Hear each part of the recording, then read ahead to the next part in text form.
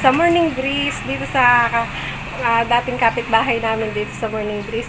Napakaganda ng kanilang ginawang ah, Continente shop, yung para yung mga milk tea. Ang gaganda ng kanilang ano, ng kanilang mga mga upuan. Tapos yung style ng kanilang kanilang anong tawag dito? Kanilang shop ay style aeroplano para tayo nasa abroad. Tingnan guys, papakita ko sa inyo yung parang aeroplano yung kanilang design. Tapos sa loob may mga maleta, pwede kayo magpicture doon na nakamaleta. Tapos uh, suot-suot yun yung cup ng yung flight stewardess. Nakakatuwa guys. Hope loving for you who saw me before I knew who I'd be.